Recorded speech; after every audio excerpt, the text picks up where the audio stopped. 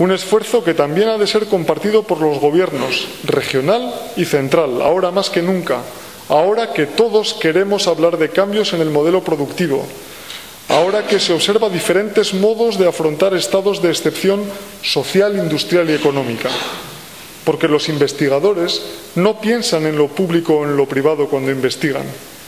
Piensan en su investigación y en el beneficio que reporta las consecuencias, los resultados de su investigación.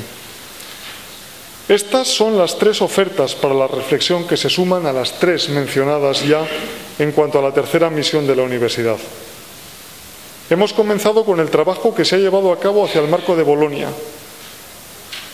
Y ahora abrimos una nueva etapa, una etapa que podremos cubrir en un tiempo, el que nosotros nos demos, pero abrimos una nueva etapa compleja en la que no podemos perder de vista a ninguno de los miembros de la comunidad universitaria, porque todos y cada uno de nosotros somos los representantes más inmediatos de esa sociedad a la que pretendemos servir y dentro de los colectivos de la comunidad universitaria son quizá, seguro, los estudiantes el compendio de la realidad compleja a la que nos enfrentamos.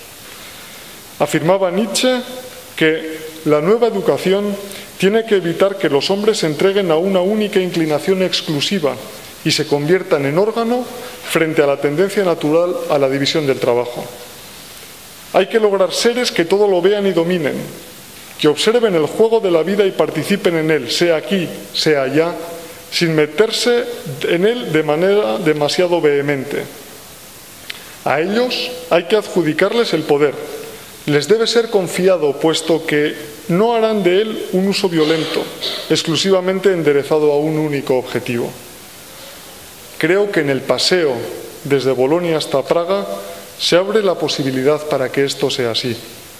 Los ámbitos de reflexión señalados, al igual que los no señalados, como decía, seguro que aparecerán en otros discursos rectorales. Permitirán abordar, y nos permiten abordar, de hecho, realidades complejas, formando a nuestros estudiantes desde la incertidumbre. Entendamos esa nueva educación como un ejercicio dialéctico del que todos podamos aprender y del que, como paseantes, salgamos física y metafísicamente transformados. He dicho.